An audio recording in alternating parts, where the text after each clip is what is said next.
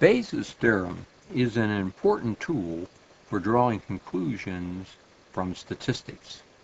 Now, I've set up a typical storyline here. Uh, suppose that the, there's a disease, you can name whatever disease you like, uh, that is possessed in 1% of the population. Now, there's a screening test available for this, which will uh, accurately detect it in 90% of the people that actually have the disease. But the test also has what's known as false positives here. Uh, namely, uh, it will indicate that 15% of the people who do not have the disease actually have it. Now, the situation that a person is faced with is supposing they take this test and it tests positive. We want to know what's the probability that they actually have the disease.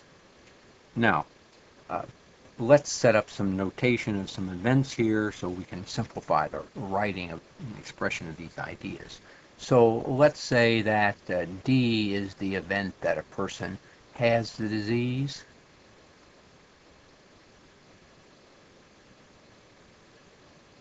And let uh, T designate that the uh, test is positive.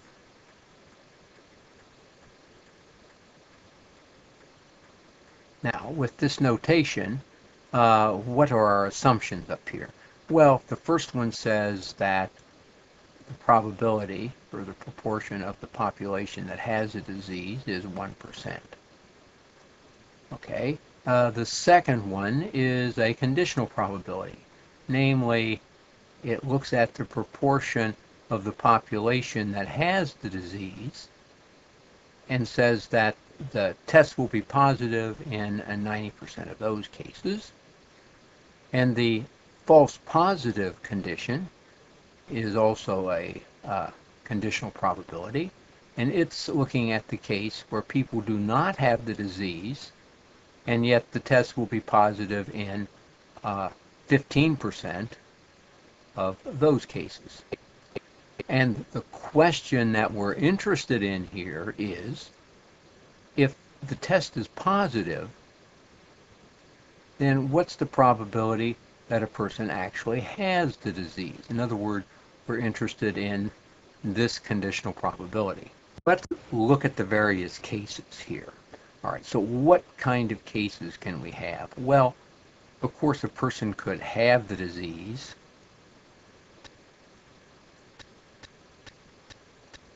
and test positive. Now, in that case, uh, we would designate that as they are going to be just the event that says D intersect T. All right, with another case. Well, a person could have the disease and uh, not test positive, test negative. A complement of testing positive. Okay, what event would that be? That would be D and the complement of T. And of course, then there's, they could not have the disease, not disease, and they could test positive. That's the false positive uh, uh, situation there. So that would be not having the disease and testing positive. And finally, there's the situation that they could not have the disease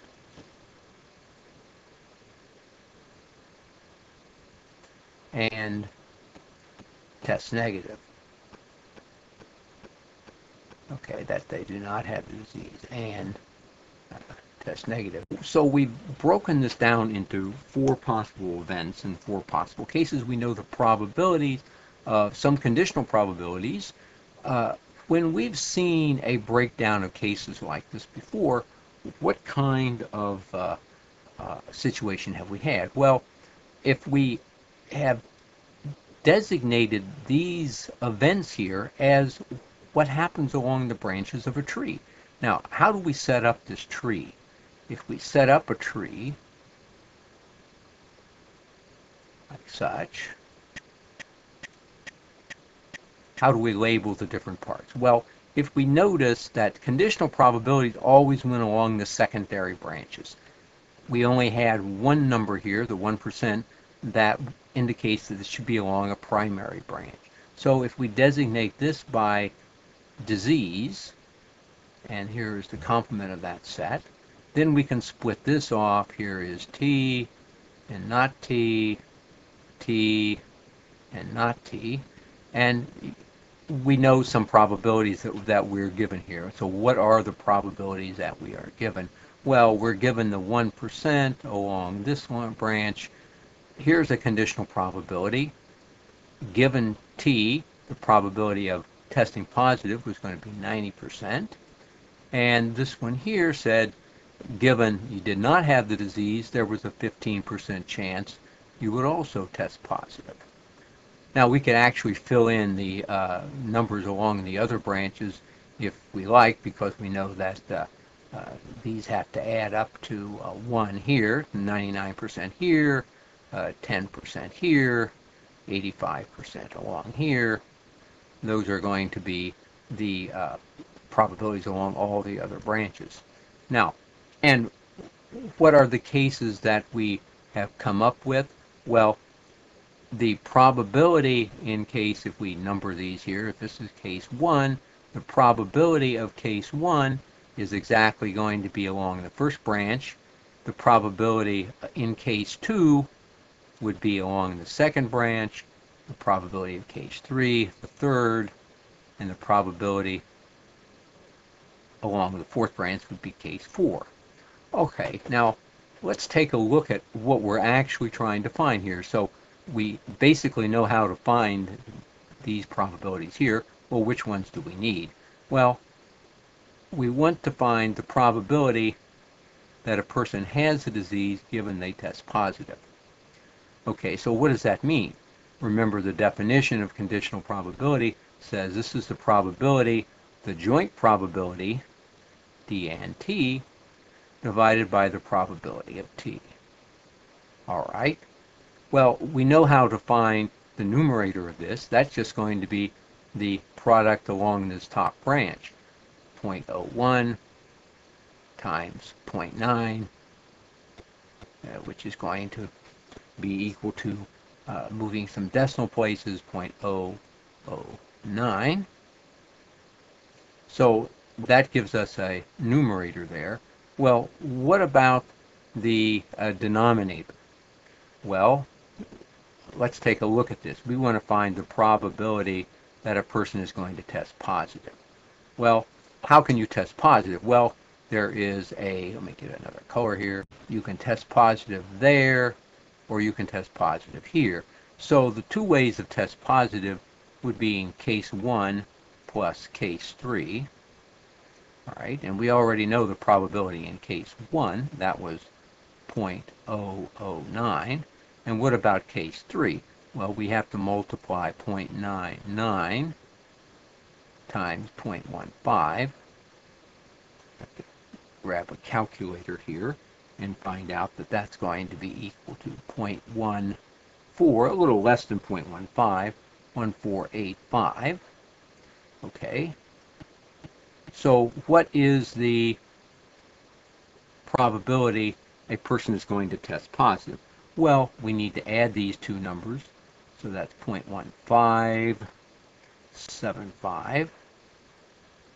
All right, and that becomes our denominator here. All right, so when we then divide these two fractions, you have to grab a calculator to do that. It, it comes out to be 0.062. Okay, so what have we actually seen here? Well, what we've seen is that the probability of having the disease is a little more than 6%. And one way to view this is that you've got some additional information here. So the general population had a 1% chance of having the disease. Because the person tested positive for the disease here, then that moves up a little bit the probability that they had the disease.